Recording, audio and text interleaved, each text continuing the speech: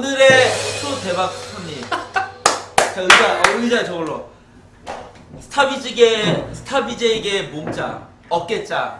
바로 아, 맞아요. 도재욱 씨, 아, 팬카이 감사합니다. 아니, 어, 또 대표 또 몸짱이니까 여기에 맞는 분들 제가 섭외했어요. 아, 이게 어. 뭐 아니 아니 베스트 화이트 기억나요. 난 어, 진짜 그때 잘했으니까. 귀여웠는데 그때 나도 중학생인 것도 기억하잖아. 그래가지고 근데 어 근데 나를 기억 못하고 있더라고. 아니 뭐 유망주였다고 하더라고요. 사실 화이트는 실력 길드가 아니고 친목 길드여서 야. 실력이 없어요. 아니 아니 나 나 스카우트 했는데 화이트에서. 아 나 나 삼국지 있을 때 어. 스카우트 했어. 어 그럼 실력자. 왜냐 어. 송국치도 유명한 길드. 어, 나 그게 이게, 이게 되게 많이 물어보시는 분이 있어요. 이제 손목이 이제 약해져서 가지고 이제 손목 강화 하고 싶다. 음. 이런 분들은 이제 탁자 좀 약간 쓸게요. 아니 진짜로 나 궁금한 게 있어요. 뭐요? 막 진짜 이런 운동하는 사람 여기 굵어져요? 전완근이요? 저는 굵어지죠. 어 이렇게 하면 연성 형이 이렇게 많이 했어. 네, 그게 예, 그게 되게 좋은 운동인데 네. 일단 뭐 벤치나 편파한 곳에 내려놓고 힘을 다 빼세요. 그 다음에 이 상태 천천히 올리고 내리고 하는 거예요. 이렇게. 오와이 핏줄. 네. 저는 지근이기 때문에 횟수가 많은 게 좋아요. 어 그래서 이거 하면 네, 한 20회 어. 정도 하시면 좋고 그 다음에 거북목이나 아니면 이제 라운드 숄더 갖고 계신 분들은 무조건 내가 체형을 펴야겠다. 어. 목을 위로 잠깐 이렇게 뒤로 세워야겠다. 이런 마인드로 해야 돼요. 자기 제일 중요해요. 습관적으로 하는 거 주셔요. 두 번째는 운동적 치료. 자 일단 와줘 와보세요. 일단 목 스트레칭 하는 거 알려드릴게요. 오케이. 하시고 이 왼쪽 팔을 이쪽으로 쭉 이렇게 저처럼 이렇게 아, 네. 쭉 해서 지금 어깨 이쪽을 펴주시고 그 다음에 한 손으로 머리 잡아보세요. 왼쪽으로 그렇죠. 잡으신 다음에 처음에는 이쪽으로 그렇죠. 이쪽으로 쭉 어. 잡아당겨주시고 아 이것도 통증이 네. 오구나. 쭉 잡아당겨주시고 그 다음에 이걸 또 반대로 이쪽 앞으로 아, 네, 잠깐만. 네, 어, 오케이. 어, 진짜? 좀, 좀 목이 좀 많이 아프신가 봐요. 어. 이렇게 해주시면 돼요. 그리고 이제 반대쪽, 반대쪽도 손을 쭉 내미신 다음에 여러분도 하시면 좋아요. 그 다음에 이걸 이제 오른쪽으로 일단 오른쪽 따라해보세요 여러분들.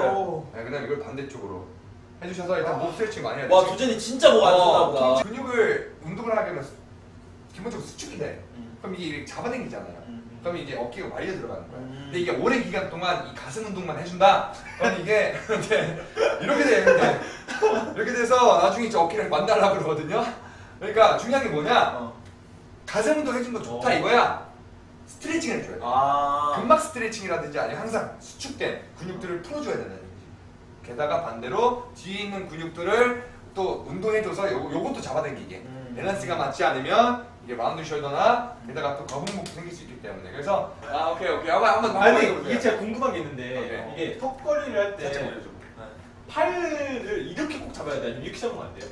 자 제가 그거 말씀드릴게요. 자 이제 저번에도 항상 말씀드렸다시피 팔의 넓이와 너비, 넓게 잡기, 뭐 짧게 잡기는 차이는 있긴 있는데 그렇게 큰 차이점은 없어요. 음. 이건 근전도라고 해서 이 뚝뚝이 붙이지 않아 몸에 네. 그렇게 실험을 해봤는데 넓게 잡는 거랑 짧게 잡는 그렇게 큰 도움은 없고 음. 차이가 있는 것은 이제 넓게 잡게 되면 요 정도밖에 못 올리잖아. 와. 네. 짧게 잡게 되면 더 많이 내려간 상태에서 이렇게 올리니까 음. 가동 범위가 넓어서 음. 운동이 더 많이 된다 이런 이제 그게 있어요. 왜냐 어깨가 나쁘신 분들은 이건 이해하셔야 돼. 봐봐.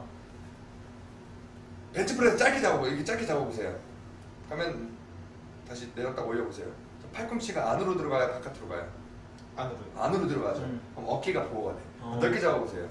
어. 밀어보세요. 아 어깨 아프다. 팔꿈치가 어. 바깥으로 가기 어. 때문에 이 어깨 상완골이 어깨 속끝으로 들어가 버려요. 어. 그래서 어깨 나쁘신 분들은 짧게 잡는 게 맞아요. 어. 그래서 팔꿈치 이거 도 똑같아요. 어깨가 아프시다 짧게 잡으시고 그래서 어깨 좀 강화가 됐고 좀 더좀 광배근 개입을 좀더더 시키고 싶다 하신 분들은 넓게 잡는 건데 근데 더 웃긴 건 광배근을 개입시키려면 짧게 잡는 게 더 좋아요. 음.